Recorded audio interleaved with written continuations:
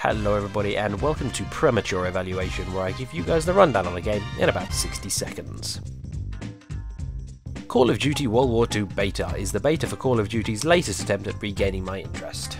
It's falling back to its roots in World War II, it looks like Activision are trying to gain some ground back after some consistently lukewarm receptions, and this looks no different. It's repetitive, derivative, has red dot sights in World War II, it's just not a first person shooter that I want to play. The matches I did play were so devoid of personality, I barely managed 20 minutes before I turned it off. Fortunately though, it runs fairly well with no noticeable FPS drops at maximum settings, but it doesn't look too sharp anyway, so I wasn't that surprised. The movement feels very fluid, as does the aiming, but that makes for an overly fast paced game which involves very little thought.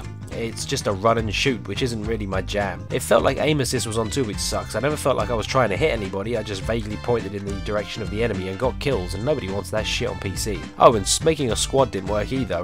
repeated attempts just got an unable to join game message, which probably doesn't help since playing in a team is always more fun. So yeah, looks like Call of Duty World War II is the same shit, different war. Sorry my voice is a little off today, I'm not feeling too well, but I thought I'd get a video up anyway. Thanks for watching as always, and if you want to see more, be sure to hit the subscribe button, and if you want to support my channel, like the video and share it around too. Thanks again for watching, and I'll see you next time.